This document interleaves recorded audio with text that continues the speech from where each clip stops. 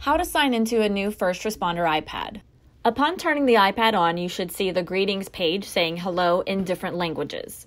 Then press the home button, the small circle button at the bottom of your iPad. You'll select English at the very top. The next screen will ask you to select your country of origin. You'll hit United States. You should then come to this screen where you will hit Set up manually at the very bottom. Now you'll be asked to set up your Wi Fi network. Scroll to the bottom and select Use Cellular Connection. It will take a few seconds to configure the new information. The remote management page will pop up, hit Next in the top right hand corner. It will take another few seconds to configure. You need to enable location services and you're in the iPad.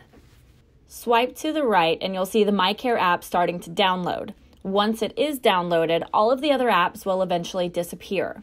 Now you'll click on the app. The next few steps will ask for permission to use the microphone and camera, and you'll hit OK for both.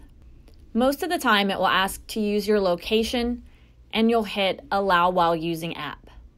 It will then bring you to the login screen. Now, whether you reach the login screen or hit allow on the microphone and camera, your next step should be to hit the circle button on the bottom of the iPad, taking you back to the home screen. Go into your settings, scroll down to the bottom until you see the MyCare app, and then select it. On the right, you'll see location at the top, and it says while using. We want to change this by clicking location, then selecting always.